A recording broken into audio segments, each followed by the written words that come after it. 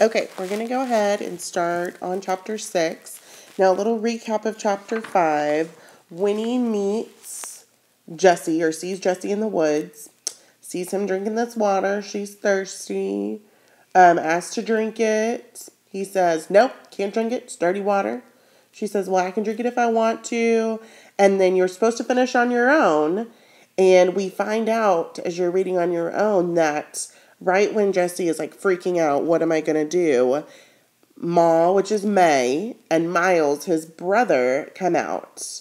And um, when he sees that Miles is just as good looking as Jesse, he's just the, he's older.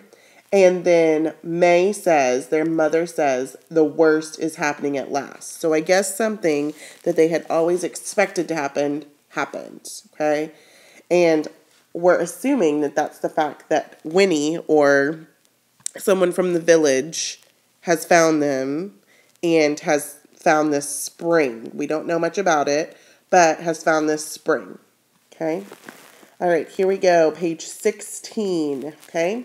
Hopefully, you also filled in your character chart. On your character chart, you should have uh, Mae, Winnie, the man in the yellow suit, Jesse Tuck, and you could also add Miles Tuck on there as well. We don't know a lot about him except that he's the older brother. He's Jesse's brother and Mae's son, so that definitely needs to be one of your important facts. And we also learned an important fact that Winnie is 10, she's about to be 11 years old, and Jesse was 17 years old. So those are all important facts. Okay, here we go with chapter 6. It's on page 16. Afterward, when she thought about it, it seemed to Winnie that the next few minutes were only a blur. First, she was kneeling on the ground, insisting on a drink from the spring, and the next thing she knew, she was seized and swung through the air, open mouthed, and found herself straddling the bouncing back of a fat old horse, with Miles and Jesse trotting along on either side, while Mae ran puffing ahead, dragging on the bridle. Winnie had often been haunted by visions of what it would be like to be kidnapped, but none of her visions had been like this, with her kidnappers just as alarmed as she was herself. She had always pictured a troop of burly men with long black mustaches who would tumble her into a blanket and bear her off like a sack of potatoes while she pleaded for mercy. But instead, it was they, Mae Tuck and Miles and Jesse, who were pleading. Please, child, dear, dear child, don't you be scared. This was Mae trying to run and call back over her shoulder at the same time. We wouldn't harm you for this work for the world. If you'd yelled or anything, this was Jesse, someone might have heard you and, and that's too risky. And Miles said, We'll explain it soon as we're far enough away. Winnie herself was speechless. She clung to the saddle and gave herself up to the astonishing fact that though her heart was pounding and her backbone felt like a pipe full of cold run, running water, and her backbone felt like a pipe full of cold running water, her head was fiercely calm. Disconnected thoughts presented, presented themselves one by one, as if they had been waiting their turn in line. So, this is what it's like to ride a horse. I was going to run away today anyway. What will they say when I'm not there for breakfast? I wish the toad could see me now. That woman is worried about me. Miles is taller than Jesse. I'd better duck if I don't want this next branch to knock me off. Okay, so she's doesn't seem very stressed. Instead, she has all these like silly questions going through her head. And I think the funniest one is she wanted to run away, but she was too scared, and now look what's happening to her. Okay, last paragraph, page 16. They had come to the edge of the wood now with no sign of slowing their rapid jog. The road where it angles across the meadow was just ahead, dazzling white in the open sunlight. And there, standing on the road, was the man from the night before, the man in the yellow suit, his black hat on his head. Discovering him, seeing his surprise, and presented at once with choices, Winnie's mind perversely went blank. Instead of crying out for help, she merely goggled at him as they fled past the spot, where he stood. Mae Tuck was Mae Tuck was the only one who spoke, and the most she could offer was teaching our little girl how to ride. Only then did it come to Winnie that she ought to shout, wave her arms, do something, but the man had fallen away behind by that time, and she was afraid to let go of the saddle, afraid to turn around, lest she fall off the horse. In another moment it was too late. They had sped up the hill and down its other side, and the opportunity was lost. After another few minutes, the road led them to a place where off to the left a shallow stream looped near, with willows and sheltering scrubby bushes. Stop! cried Mae. We'll stop here. Miles and Jesse grabbed at the horse's harness and he pulled up abruptly, nearly toppling Winnie off, off over his neck. Lift the poor child down, Mae gasped, her chest heaving. We'll go catch our breath by the water and try to put things straight before we go. But the explanation, once they had stumbled to the banks of the stream, came hard. Mae seemed embarrassed, and Miles and Jesse fidgeted, glancing at their mo- mother uneasily. No one knew how to begin. For her part, Winnie, now that was running o- now that the running was over, began to comprehend what was happening. And with the comprehension to her throat closed and her mouth went dry as paper. This was no vision. This was real. Strangers were taking her away. They might do anything. She might never see her mother again. And then, thinking of her mother, she saw herself as small, weak, and helpless. And she began to cry. Suddenly, crushed as much by outrage as by shock, Mae Tuck's round face wrinkled with dismay. Dear Lord, don't cry. Please don't cry, child, she implored. We're not bad people. Truly, we're not. We had to bring you away. You'll see why in a minute. And we'll take you back just as soon as we can. Tomorrow, I promise. When Mae said tomorrow, Winnie's sobs turned to wails. Tomorrow? It was like being told she would be kept away forever. She wanted to go home now, at once rushed back to the safety of the fence and her mother's voice from the window. Mae reached out to her and she twisted away, her hands over her face, and gave herself up to weeping. This is awful, said Jesse. Can't you do something, Ma? This poor little tad. We ought to have had put better plan than that had a better plan than this, said Miles.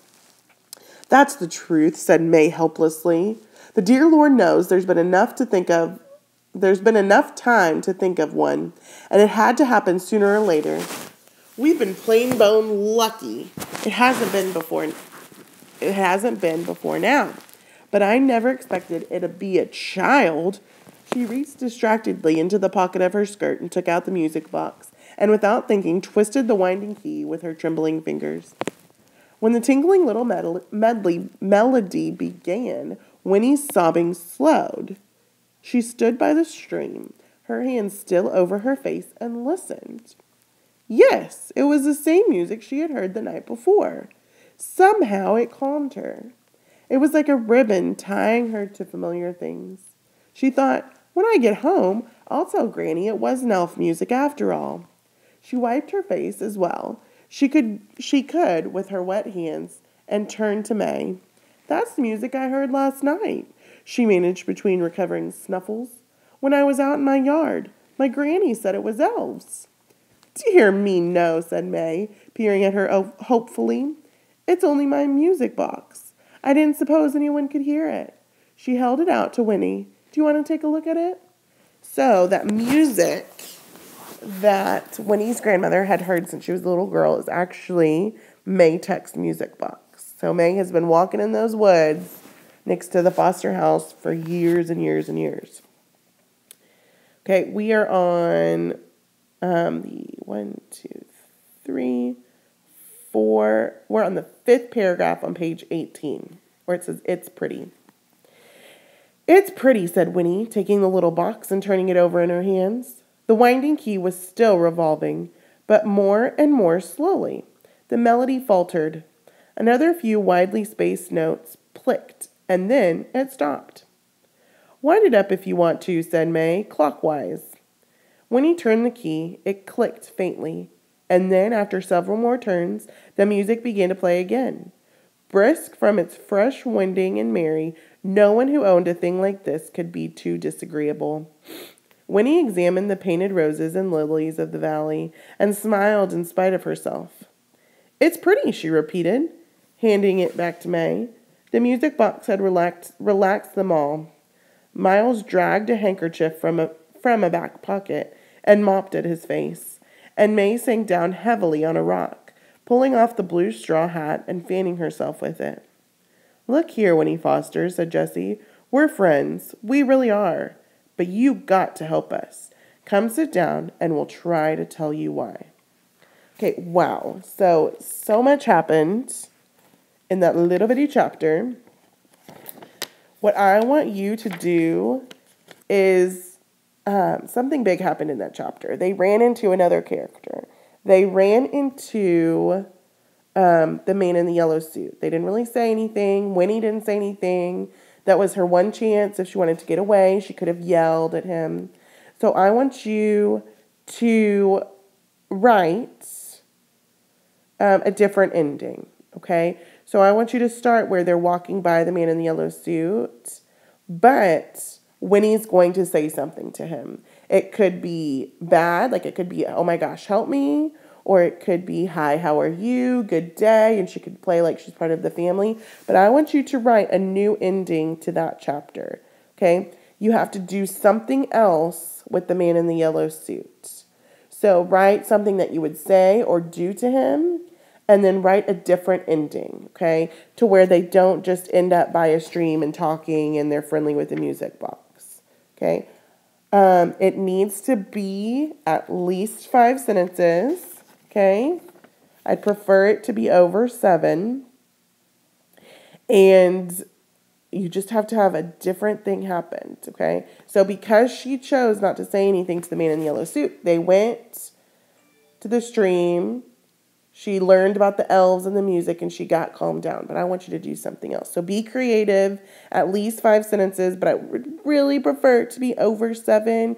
And um, do something fun. Do something that's going to make me laugh or something that's super suspenseful.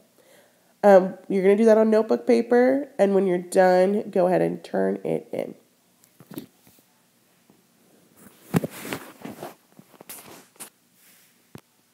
Okay, and one other thing that I want you to do with your story I want you to use at least one of your vocab words from your dictionary detective chapters 4 through 9. I want you to use at least one of those words and you must use it correctly. Okay. And in your story, I want you to make sure that you highlight where you use the word. And somewhere on your paper, I would prefer down at the bottom, you need to write that definition of that word. Okay, so this is going to be part of your grade two. Use one of your dictionary detective words from chapters four through nine. You need to highlight the word in your story, and you need to make sure the definition for that word is on the bottom of your page of your story.